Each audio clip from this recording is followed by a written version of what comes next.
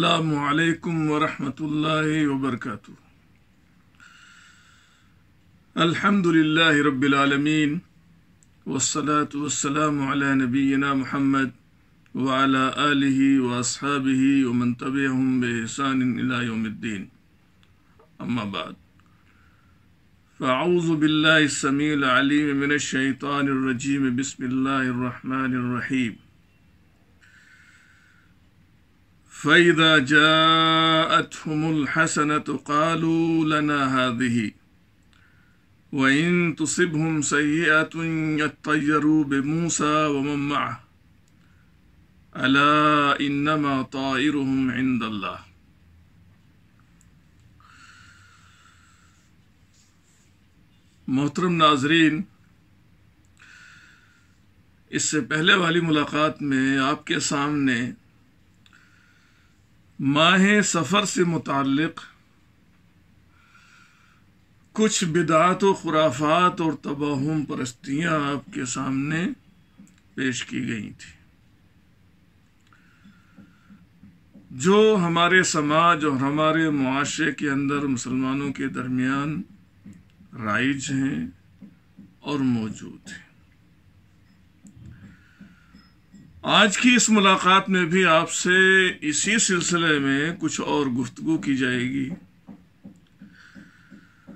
आखिरी बात जो आपके सामने पेश की गई थी, वो ये थी कि बाज नादान मुसलमान, जाहिल मुसलमान, कम कमाकल मुसलमान, बेदीन मुसलमान, जिनको सही दीन का इल्म ही नहीं है वो ये समझते हैं कि सफ़र का महीना ये जिन्नात के नजूल का महीना है। इसलिए अगर उनके शर से बचना है और उनकी परेशानियों से अगर हम बचना चाहते हैं तो ऐसी सूरत में घर के जो गोशे हैं, जो किनारे हैं और जो पोशीदा मकामात हैं वहाँ पर लाठियाँ और डंडे बरसाए जाएँ बरसाए जाएँ और इन जगहों को तलाश किया जाए, खटखटाया जाए ताकि ये लोग भाग जाएँ। इस तरह के ये तस्वुरात मुसलमानों के दरमियान मौजूद हैं। और इसी तरीके से एक और ख़तरनाक बदअकीदगी और बद एतक़ादी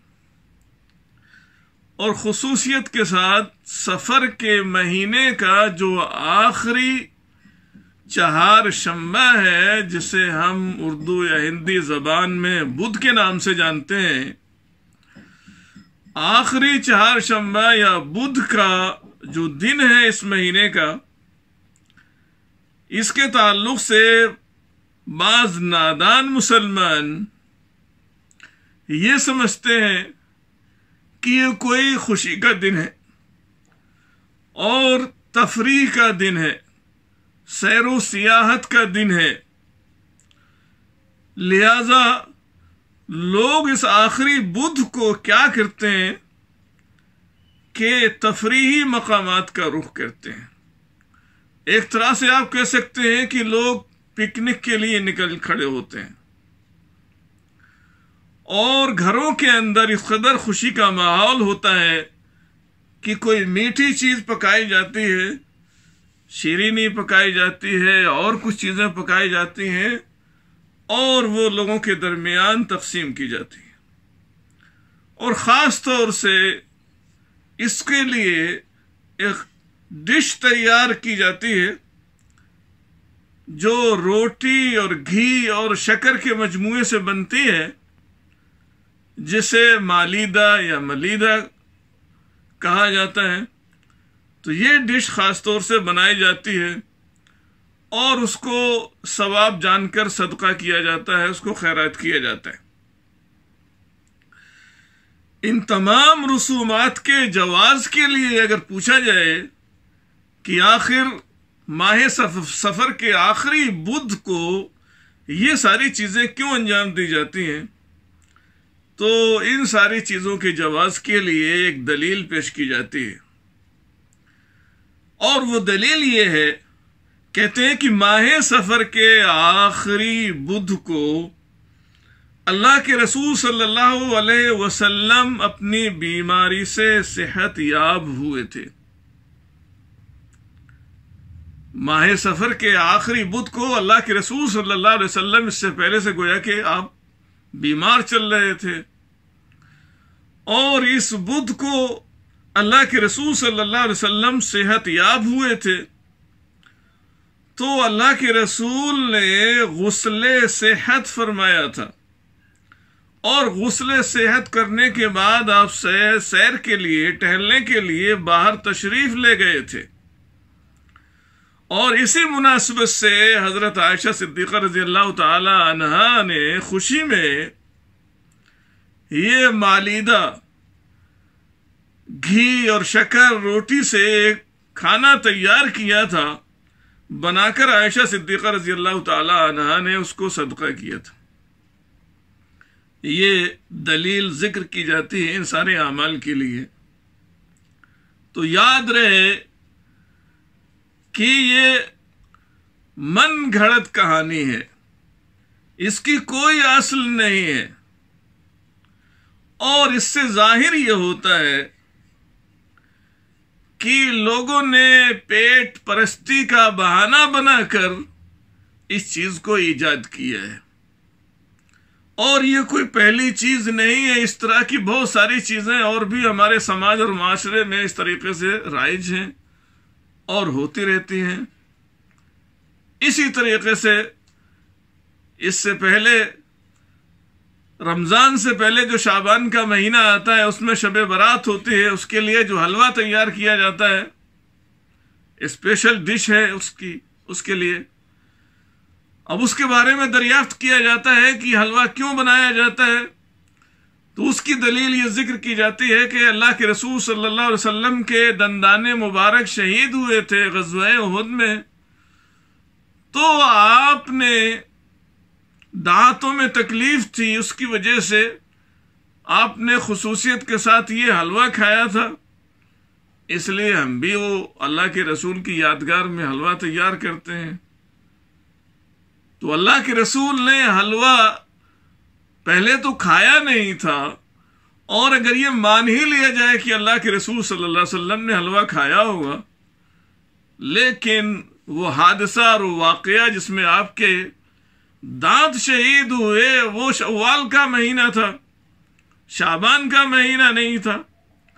इसी तरीके से यहाँ भी अल्लाह के रसूल सल्लल्लाहु अलैहि वसल्लम के बारे में ये बात मशहूर की गई कि आप सफ़र के महीने के आखिरी बुध को सेहत याब हुए थे। हालाँकि मामला इसके बरक्स है, जो इसके बाद मैं ज़िक्र करने जा रहा हूँ कराम के फतावे मौजूद हैं। लिहाजा आइए देखिए, पेट परस्ती के नाम पर लोग क्या क्या नहीं करते हैं। इस सिलसिले में, इस ताल्लुक से मशहूर हनफी आलम दीन है मौलाना रशीद अहमद गंगोही रहमतुल्लाह अलैह। उन्होंने लिपन फतावा में लिखा है, कहते हैं, आखिरी चार शंबा की कोई असल नहीं। इसकी कोई हकीकत नहीं है। और बे सनद बात है ये, बल्कि इस दिन जनाब रसूलुल्लाह सल्लल्लाहु अलैहि वसल्लम को शिद्दत मरज वाक़ हुई थी। लोग तो ये डिश खाने के लिए ये बहाना बनाते हैं कि अल्लाह के रसूल सेहत याब हुए थे, लेकिन हकीकत इसके बरक्स है। मौलाना कहते हैं, जनाब रसूलुल्लाह सल्लल्लाहु अलैहि वसल्लम को शिद्दत मरज वाक़ हुई थी। वो बीमारी जिसमें आपकी वफात हो गई, रबीउल अव्वल में जाकर बारह रबीउल अव्वल को, वो सफ़र के महीने के आखिरी अयाम में बीमारी लायक हुई थी। और उसके आगे मौलाना लिखते हैं, जब अल्लाह के रसूल सल्लल्लाहु अलैहि वसल्लम सख्त बीमार हो गए सफ़र के आखिरी अयाम में या बुध के दिन तो यहूदियों ने खुशी खुशी की थी। यहूदियों ने खुशी मनाई थी। अल्लाह के रसूल सल्लल्लाहु अलैहि वसल्लम की बीमारी के ताल्लुक से और सख्त बीमार हैं अल्लाह के रसूल, ये खुशी मनाई थी यहूदियों ने। किस कदर अफसोस की बात है? कि आज हम अपने आप को मुहब रसूल कहते हैं, सच्चा मानने वाला कहते हैं, अल्लाह के रसूल का। मुसलमान कहते हैं, लेकिन अपने नबी की बीमारी पर दानिस्ता तौर पर कहिए या नादानिस्ता तौर पर कहिए, हम खुशी का इजहार करते हैं। और इन यहूदियों ने और खास तौर से राफजियों ने हमें यहाँ तक पहुँचा दिया है कि हम अपने नबी की वफात पर भी खुशी का इजहार करते हैं।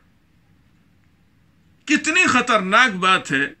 और वो बात मैं आगे चल के जो महीना आ रहा है रबी अव्वल का, वहाँ ज़िक्र करूँगा कि हम अपने नबी की वफात पर विलादत या पैदाइश पर नहीं, जो खुशी मनाई जाती है बारह रबी अव्वल को, वो अल्लाह के रसूल सल्लल्लाहु अलैहि वसल्लम की वफात पर हम खुशी का इजहार करते हैं।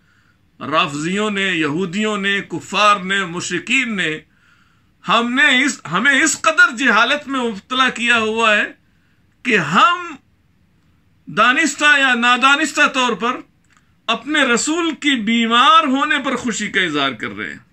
और आगे मौलाना लिखते हैं, अब जाहिल हिंदियों में राइज हो गई। ये बात यहूदियों ने खुशी का इजहार किया अल्लाह के रसूल। बुध के रोज या सफ़र के महीने के आखिरी अयाम में बीमार हो गए, यहूदियों ने खुशी का इजहार किया। तो ये बात क्या है? यहूदियों ने, वो तो दुश्मन थे इस्लाम के, अल्लाह के रसूल के, उन्होंने खुशी का इजहार किया। तो बात समझ में आती है, हम और आप तो इस्लाम के दुश्मन नहीं है। आखिर हम किस लिए खुशी का इजहार करते हैं? मौलाना कहते हैं, आगे अब जाहिल हिंदियों में राइज हो गई ये बात। जो नादान हिंदुस्तानी है, उनके अंदर ये बात राइज हो गई है। नाउजुबिल्ला मिन शुरूर अनफुसिना व मिन सयात आमालिना।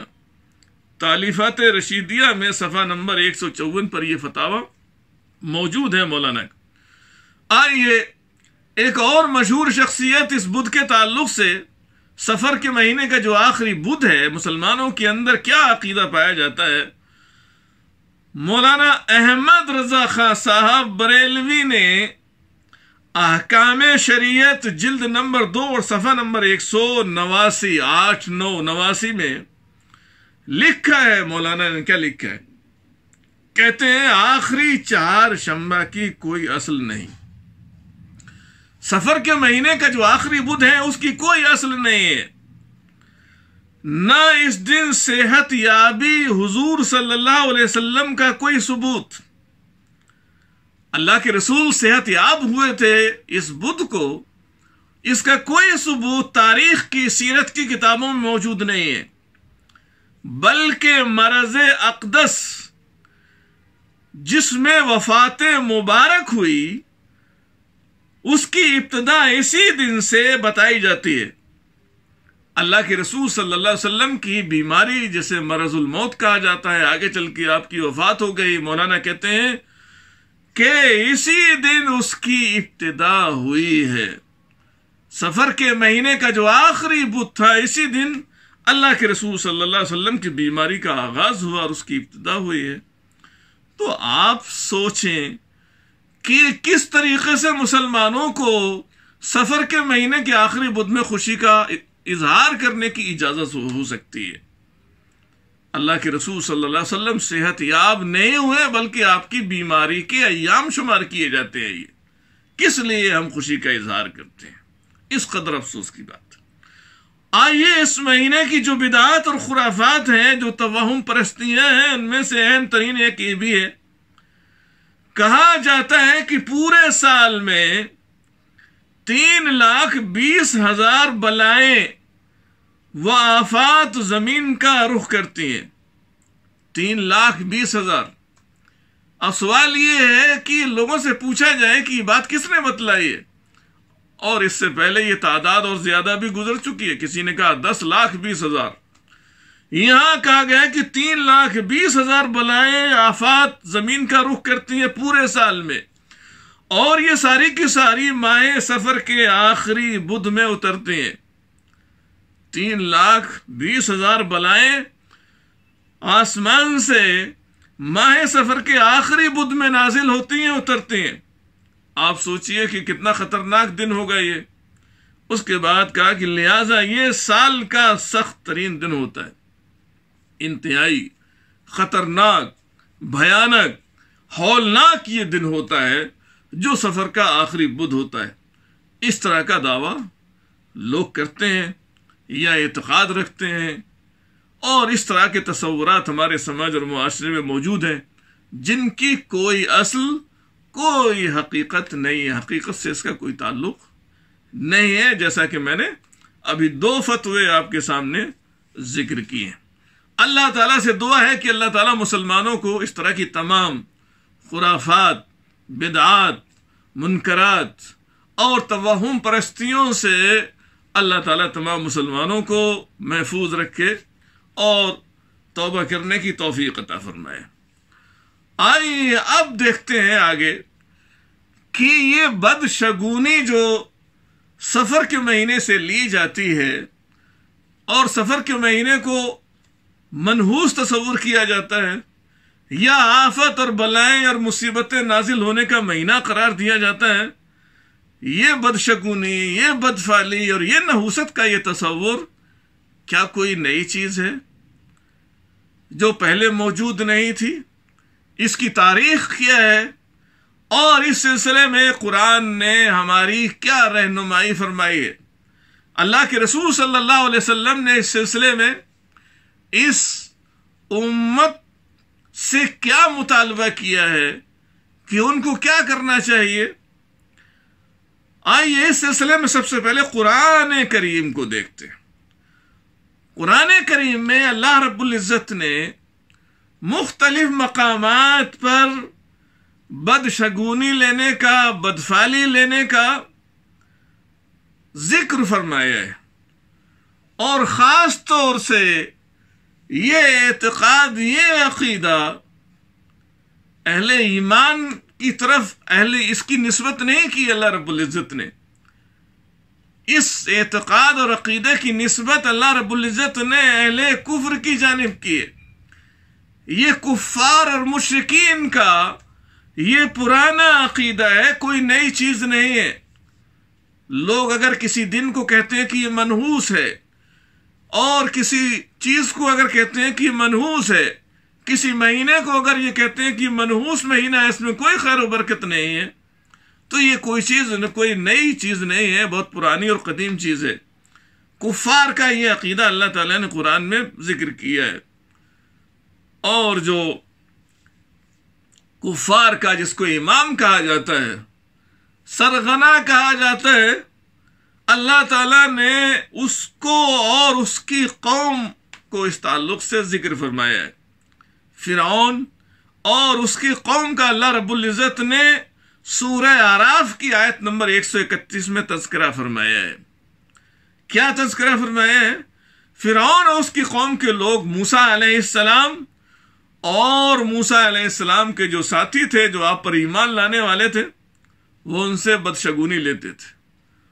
फिरौन उसकी कौम के लोग मूसा अलैहिस्सलाम को रहले ईमान को मनहूस समझते थे।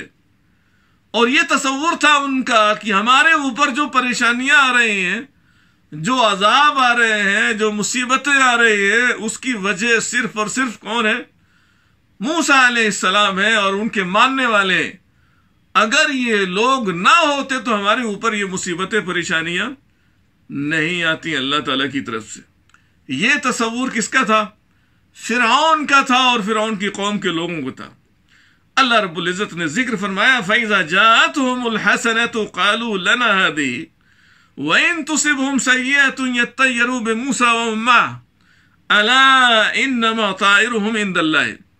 अल्लाह रब्बुल इज़्ज़त ने ज़िक्र फरमाया कि जब इनके पास कोई खुशहाली आती है, अनाज में, गले में, फलों में, और बहुत सारी चीज़ों में जब बरकत आती है फरावानी हो जाती है कालू लना हज ही ये तो हमारे ही लिए होनी चाहिए थी। हम तो इतने शरीफ इंसान हैं, अच्छे इंसान हैं, हम तो इसके मुस्तक हैं। हमारे लिए ये होना ही चाहिए था। तो अगर खुशहाली आती थी, बारिश का नजूल होता था, खैर बरकत आती थी, समझते थे कि हमारी वजह से अल्लाह ने कहा वहीन तुसे बुम सही है तुम और अगर जब उनको कोई बदहाली पहुँचती, लायक होती, कोई मुसीबत आती, कोई सजा अल्लाह की तरफ़ से आती यरू मूसा माहू। तो मूसा और जो उनके साथ थे, ईमान लाने वाले, उनको मनहूस समझते थे। और ये कहते थे कि जो भी परेशानी आ रही है, वो इनकी वजह से आ रही है। अल्लाह ने कहा, अला इन माता सुन लीजिए कि इनकी जो नहूसत है, उसके असबाब क्या है, वजह क्या है? क्यों नहूसत आ रही है? इसका इल्म अल्लाह रब्बुल इज़्ज़त के पास है। अल्लाह ताला जानता है। और वो उनका कुफ्र था, इनकार था, बदआमालियाँ थी, जिसकी वजह से सजाएँ आ रही थी। लेकिन इल्ज़ाम देते थे मूसा सलाम को कि इनकी वजह से हमारे ऊपर परेशानी आ रही है। अल्लाह ताला ने इसकी तरदीद फरमाई। तो ये कोई नई चीज़ नहीं है, बदशगुनी लेना बहुत पुरानी चीज़ है। और इसी तरीके से अल्लाह रब्बुल इज़्ज़त ने कौम समूद, जो कदीम कौम है, उसका ज़िक्र किया है। और इस कौम के जो रसूल और नबी थे सलाम, उनका ज़िक्र किया है और उनके साथियों का तस्करा फरमाया। है तो कौम समूद सलाम और उन पर जो ईमान लाने वाले थे, उनसे बदशगुनी लेते थे, उनको मनहू समझते थे। और अल्लाह ताला ने इरशाद फरमाया, कालू इतरना बिका व बिमक काल तारुकुम इंदल्लाह। तो कौम समूद ने कहा इतरना बिका। सलाम को खिताब किया कि हम तो आपको मनहूस समझते हैं, और जो आप पर ईमान लाने वाले उनको मनहूस समझते हैं।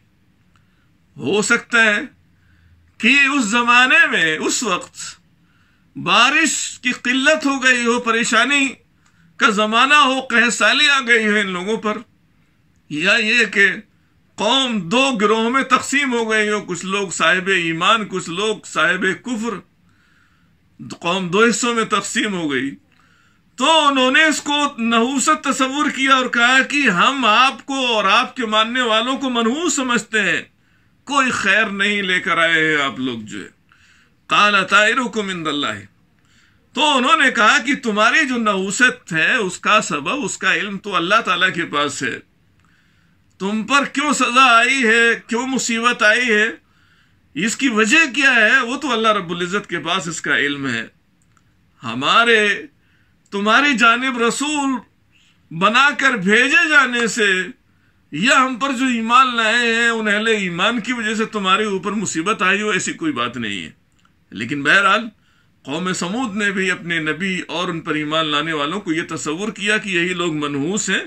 कोई खैर और बरकत इनके अंदर नहीं है। और इतना ही नहीं, इसी तरीके से सूर यासीन की आयत नंबर 18 और 19 में अल्लाह रब्बुल इज़्ज़त ने ज़िक्र फरमाया कि एक बस्ती थी जिसकी जानब अल्लाह रब्बुल इज़्ज़त ने तीन रसूलों को भेजा। उनको हिदायत देकर भेजा, दावत तबलीग के लिए तीन रसूल भेजे गए एक बस्ती की जानब। लेकिन बस्ती के लोगों ने बजाय इससे कि वो उनकी बात को मानते, तस्लीम करते, ईमान लाते, लेकिन उस बस्ती के बदबख्तों ने इन तीनों रसूलों को कहा कि आप लोग तो मनहूस हैं, बदबख्त हैं, बदनसीब हैं। तीनों को मनहूस करार दे दिया। और अल्लाह रब्बुल इज़्ज़त ने इसका तस्करा भी सुर यासीन के अंदर किया है। अल्लाह ताला का इरशाद है। कालू इन्ना ततयरना बेकुम। लिहाजा इस बस्ती के लोगों ने तीनों रसूलों से साफ़ साफ़ कह, कह दिया इन्ना ततयरना बिकुम। हम तो तुम्हें मनहूस समझते हैं। तुम्हारे अंदर कोई खैर कोई भलाई नहीं पाई जाती है। और इतना ही नहीं आगे धमकी भी दे दी लम तन तहु लनर्जुमन नकुम वलय मसन नकुम मिन्ना आदाबुन अलीम। जो मिशन, जो दावतो, तबलीग लेकर आए हो, अगर तुम इससे बाज नहीं आए तो हम क्या करेंगे? कहा कि तुम पहले तो इससे बाज आ जाओ। ये सब छोड़ दो, हमारे दरमियान ये दावत, तबलीग का कोई माना नहीं है। और अगर तुम ये दावत, तबलीग से, इस दावत, तबलीग से अगर बाज नहीं आए तो फिर हम क्या करेंगे? लमसन मिन्ना अदाबन अलीम। तो हमारी जानब से तुम्हें क्या है? सख्त अजाब पहुंचेगा। सख्त तकलीफ़ लायक होगी। हम तुम्हें मुसीबत में गिरफ़्तार करेंगे, तुमको ईजाएँ दे पहुंचाएँगे, तकलीफ़ देंगे तुम्हें, अगर तुम अपने इस मिशन से बाज नहीं आए। तो यहाँ भी एक रसूल नहीं, बल्कि तीन तीन रसूलों को अल्लाह ताला के इस बस्ती के लोगों ने मनहूस करार दे दिया कि आप लोग मनहूस हैं। और इतना ही नहीं, बल्कि अल्लाह के रसूल सल्लल्लाहु अलैहि वसल्लम को जिस माहौल में, जिस कौम में, जिस जमाने में आखिरी नबी बनाकर भेजा गया और आपको मबूस किया गया तो उनके यहाँ भी ये चीज़ मौजूद थी। उनके यहाँ भी ये बदशगुनी, बदफाली और चीज़ों को मनहूस समझने का ये एतकाद या तस्वुर अहले अरब के यहाँ भी मौजूद था। ये कोई नई चीज़ नहीं थी। पहले से ये चीज़ चली आ रही थी और अरबों के यहाँ भी ये चीज़ मौजूद थी। और इसका सबूत ये है, मशहूर साहबी हैं मुआविया इब्ने हकम रज़ी अल्लाह तु कहते हैं, काला कुल तो कुन्ना न तैयरो मुआविया इब्ने हकम रज़ी अल्लाह तु कहते हैं कि मैंने कहा, ए अल्लाह के रसूल, हम दौरे जाहलीत में बदशगुनी लेते थे। हमारे दरमियान, हमारे समाज और मुआशरे में इस्लाम लाने से पहले ये चीज़ मौजूद थी हम बदशगुनी लिया करते थे। उसके बाद कहते हैं तो इसका क्या हुक्म होगा? अल्लाह के रसूल सल्लल्लाहु अलैहि वसल्लम ने इरशाद फरमाया, कहा दा कशेन यजिदहु वहदुकुम फ़ी नफ्स ही अल्लाह के रसूल ने इरशाद फरमाया, ये बदशगुनी, ये बदफाली ये महज तुम्हारे दिल का ख्याल है कि फला की वजह से हमें कोई खैर या भलाई लायक हो गई। फला चीज़ की वजह से हम खैर या आ, किसी शर से या बुराई से हम महफूज हो गए बच गए। ये तुम्हारे अब तुम्हारा अपना ख्याल है तुम्हारे अपने दिल की बात है। इसकी कोई हकीकत नहीं है। खैर और भलाई और शर और बुराई, ये सब अल्लाह ताला के हुक्म के बगैर किसी से को लायक नहीं हो सकते हैं। अल्लाह के रसूल सल्लल्लाहु अलैहि वसल्लम ने फरमाया कि ये बदशगुनी, ये बदफाली महज तुम्हारे दिल का ख्याल है। इसकी कोई हकीकत नहीं है।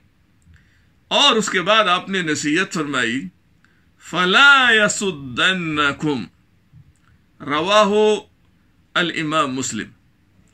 इस हदीस की रिवायत की है, इमाम मुस्लिम अलैह ने। अल्लाह के रसूल सल्लल्लाहु अलैहि वसल्लम ने ताकीद फरमाई, फला एक वहम है ये, एक ख्याल है ये, तुम्हारे दिल का, लिहाजा ये चीज़ तुम्हें किसी काम से न रोक दे। कोई काम अगर तुम करने जा रहे हो और ये सोच कर कि आज तो बुध का दिन है, या ये सफ़र का महीना है, ये तस्वुर करके, या जैसा कि आजकल हमारे समाज और माशरे में ये बात मशहूर और मरूफ है, मौजूद है, कोई बाहर से किसी काम के लिए निकला और जैसे ही रास्ते पर पहुँचा, कोई बिल्ली सामने से गुजर गई तो वो समझता है कि अब आगे नहीं बढ़ना है। आगे जो काम करने जा रहा था, वो नहीं कर रहा है, वापस आ जाता है। बिल्ली रास्ता काट गई है।